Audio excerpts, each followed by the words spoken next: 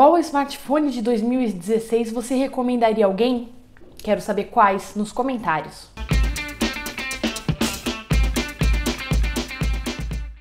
Olá, ETs, tudo bem? Estela Dauer na área. Sim, estamos em 2017 e o mercado, como todos os anos, foi inundado de lançamentos de smartphones.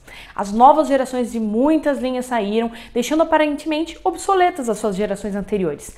Não se engane, ainda dá para achar muita coisa boa de 2016 hoje ainda. É porque o ano virou que de repente os smartphones lançados há mais ou menos 365 dias passaram a ser imediatamente inúteis. Feliz ano novo! E...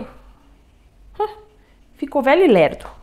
Na verdade, é, eles podem se tornar até mais atraentes do que antes, uma vez que ainda podem reunir um bom, um ótimo conjunto de especificações e de quebra um preço muito mais justo. Para vender as novas gerações, as empresas uh, e o mercado naturalmente abaixam o valor dos anteriores, que agora podem até caber no seu bolso. Então, vou falar para vocês agora uma lista com os três melhores aparelhos de 2016 essa é com certeza a dupla vencedora dessa lista. Com os preços que estão aí na casa dos seus 1980, né? Tipo 2.000 para o S7 Edge até uns 1.700 para um S7 normal, esses são aparelhos que ainda dão conta de qualquer recado. Trazem proteção IP68, tela Super AMOLED, né? 5.1 polegadas para o S7 comum, 5 polegadas e meia para o S7 Edge, tela WQHD, processador Exynos 8890 de 8 núcleos e 4 GB de RAM e ainda ao menos 32 GB de armazenamento. Certo que o visual do S7 não é dos mais modernos, mas o S7 Edge ainda tem um design que chama muita atenção com a tela curvada. Esse modelo, obviamente, ele é mais caro, mas também tem bateria maior de 3.600 mAh contra 3.000 mAh do S7. E a duração da bateria do S7 Edge é muito interessante e a câmera dos dois é sensacional. São ótimas escolhas para topos de linha, uma vez que mesmo não tendo né, o hype, o lindo visual da geração do S8, ainda vão durar muito, aguentar as tarefas mais pesadas sem problemas e de quebra, eles ainda estão confirmados para receber o Android Oreo. Se o seu caso são os intermediários, nós temos o Moto Z Play, sucesso de vendas da Motorola no Brasil. Com o preço que já estava por menos de mil reais, né, uma coisa tá oscilando por aí, o seu grande destaque, sem dúvidas, é a bateria, que mesmo sendo menor do que a do S7 Edge, tem duração incrível. Contando com 3.510 mAh, ela passa com folga de um dia de uso, chegando a 2 para quem usa menos o aparelho. Também traz o bem-sucedido processador Qualcomm Snapdragon 625, 3 GB de RAM, 32 GB de espaço e uma tela Full HD de 5 polegadas e meia Super AMOLED.